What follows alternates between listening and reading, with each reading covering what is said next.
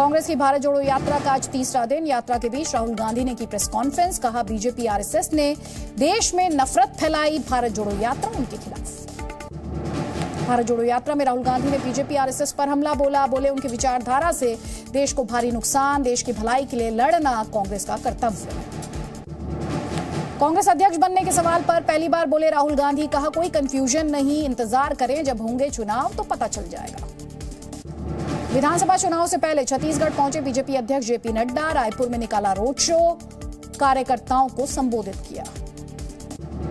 छत्तीसगढ़ से जेपी नड्डा ने राहुल गांधी और कांग्रेस पर साधा निशाना बोले। कांग्रेस सिर्फ़ परिवार की पार्टी, पहले परिवार को जोड़े, फिर देश जोड़ने की बात करें। हैदराबाद में असम के मुख्यमंत्री हिमंत बिस्व शर्मा ने श्यामा मंदिर का किया दौरा, बोले, जितने दिन सनातन रहेगा, उतने दिन भारत रहेगा। सीएम हिमंत बिस्व शर्मा ने राहुल गांधी पर निशाना साधा, बोले, गलत समय, गलत स्थान पर भारत यात्रा कर रहे हैं राहुल। उन्नीस सौ सैंतालीस में ही जुड़ गया था भारत। यूपी में मदरसों के सर्वे को लेकर योगी सरकार पर बरसी बीएसपी अध्यक्ष मायावती, कहा, तुष्टिकरण के नाम पर बीजेपी कर रही है। मुस्लिमों को आतंकित करने का खेल। यूपी के मदरसों पर बीजेपी की है टेढ़ी नज़र। कल गुजरात दौरे पर रहेंगे असदुद्दीन ओवैसी। शाम सात बजे अहमदाबाद में जनसभा को संबोधित करेंगे। दिल्ली में शराब नीति को लेकर बीजेपी ने केजरीवाल सरकार के खिलाफ किया प्रदर्शन। डिप्टी सीएम मनीष सिसोदिया को बर्खास्त करने की मांग। दिल्ली के आज़ाद मार्केट में चार मंजिला निर्माणाधीन बिल्डिंग गिरी, तीन मजदूर घायल। कई लोग अब भी दबे, बेसमेंट में खुदाई से बिल्डिंग गिरने की आशंका। गाजियाबाद में पार्क में खेल रहे बच्चे पर पिटबुल ने जानलेवा हमला किया। काटने की वजह से चेहरे पर आए 200 टाके। बिहार के सिवान में महावीरी अखाड़ा शोभा यात्रा पर हुआ पथराव। असामाजिक तत्वों ने मस्जिद से पत्थर फेंके। घटना में दो पुलिसकर्मी घायल। अलीगढ़ से सामने आई सांप्रदायिक सौहार्द की तस्वीर। मुस्लिम परिवार ने घर में कराया देवी जागरण। भजन पर परिवार की महिलाओं ने जमकर किया डांस। हवन यज्ञ के बाद बांटा प्रसाद। ऋषिकेश बद्रीनाथ रोड पर बड़ा सड़क हादसा। गहरी खाई में गिरी कार। तीन लोगों की मौत।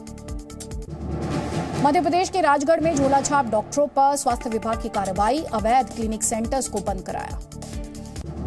यूपी के हमीरपुर में अवैध असलों पर चला रोड रोलर 200 से ज़्यादा तमंचे नष्ट किए गए। यूपी के देवरिया में शराब तस्कर पर बड़ी कार्रवाई, प्रशासन ने 31 लाख की प्रॉपर्टी जब्त की। बिहार के आरा में डिप्टी सीएम तेजस्वी यादव के सामने शिक्षक अभ्यर्थियों ने किया प्रदर्शन सुरक्षा कर्मियों ने शिक्षक अभ्यर्थियों को तेजस्वी यादव से मिलने से रोका। नोएडा में कुत्तों के काटने की बढ़ी घटनाओं से लोग डर गए हैं। सोसाइटी के लोगों ने सीएम योगी से सख्त नियम बनाने की मांग की है। लगातार हो रही बारिश से कर्नाटक बेबस, बेंगलुरु समेत आसपास के इलाकों में बाढ़, बारिश से कई घरों को हुआ नुकसान, प्रशासन का रेस्क्यू ऑपरेशन जारी। अनंत चतुर्दशी पर आज दी जा रही है बप्पा को विदाई। विसर्जन से पहले लालबाग के दर्शन के लिए श्रद्धालु जुटे। गणपति बप्पा मोरिया से गूंजा मुंबई शहर। मुंबई के गिरगांव चौपाटी में गणेश विसर्जन के लिए सुरक्षा के पुख्ता इंतज़ाम। पूरे मुंबई में करीब बीस हज़ार पुलिसकर्मी तैनात। ड्रोन कैमरे से नज़र रखी जा रही है। पुणे में गणपति विसर्जन में उमड़ा भक्तों का सैलाब। ढोल नगाड़ों के साथ श्रद्धालुओं ने दी बप्पा को विदाई। महाराष्ट्र के डिप्टी सीएम देवेंद्र फडणवीस ने अपने निवास पर गणेश प्रतिमा का किया विसर्जन। फडणवीस ने कहा, कोरोना के बाद पहली बार मनाया जा रहा है इतना बड़ा पर्व। मुंबई के जुहू बीच पर थाईलैंड से आए लोगों ने भगवान गणेश की मूर्ति को किया विसर्जित। विसर्जन से पहले रीति रिवाज से की पूजा अर्चना। ब्रिटेन की महारानी क्वीन एलिजाबेथ II का छियानवे साल की उम्र में निधन। स्कॉटलैंड के बालमोरल कासल में क्वीन ने ली आखिरी सांस।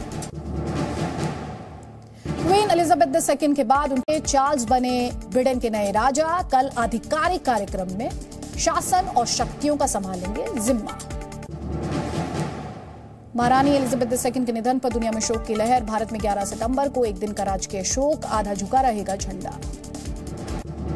टोक्यो में रक्षा मंत्री राजनाथ सिंह और विदेश मंत्री एस जयशंकर ने जापान के पीएम फुमियो किशिदा से की मुलाकात, भारत जापान के बीच सैन्य अभ्यासों पर बनी सहमति, चाइना से जारी तनाव पर भी हुई बात।